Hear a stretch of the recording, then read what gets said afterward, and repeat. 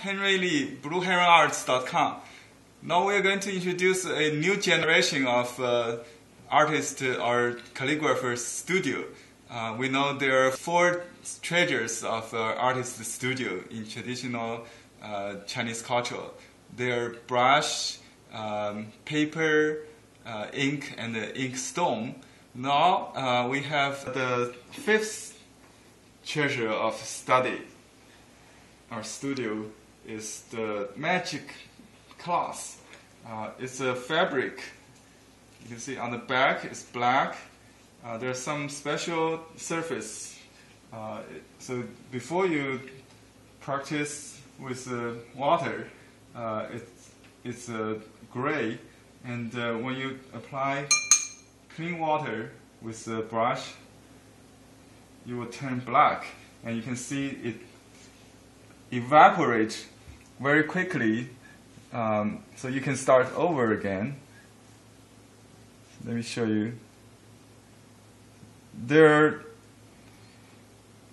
red outlined guide, a grid. Um, so you can follow the hint uh, to practice basic strokes like this uh, dot you can see the trace of the, the brush tip um, is in the middle of the stroke. So you tag in this tip and then press and then lift, press again, and then tag in the tip and turns back. These are very conveniently uh, printed on the magic cloth.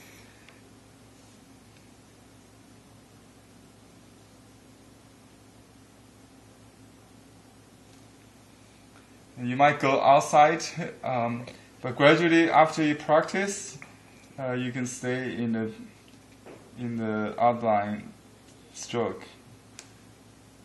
Right? Student might do something like uh, like this. That's perfectly okay.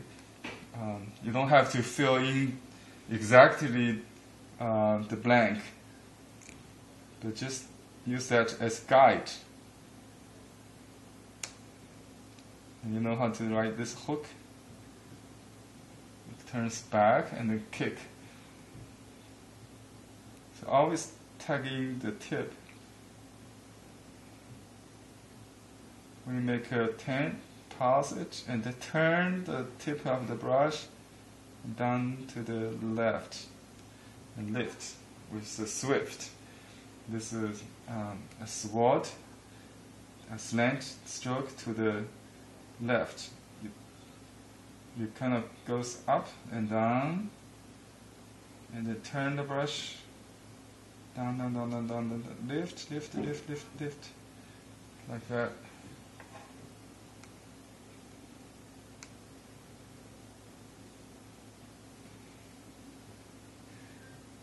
So this this piece of uh, fabric a magic cloth has uh, basic strokes that contains uh, all the strokes, I believe, that you need to write standard Chinese calligraphy.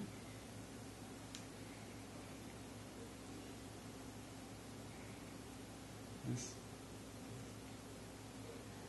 band pass goes up and then kick horizontal stroke with a hook.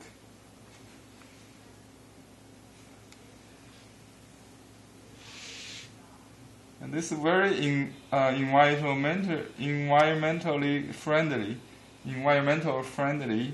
Um, so you save lots of uh, paper to practice. Even you know you can use newsprint or any other paper other than rice paper. Uh, you won't have this kind of uh, feeling. It's a soft, absorbent, uh, as if you're writing on rice paper without um, destroy any natural resources. This is a very convenient tool. That's why we call it the fifth generation, the fifth uh, category of uh, studio or study.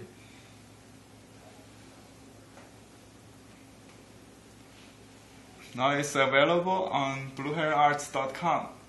Thanks for watching. Goodbye.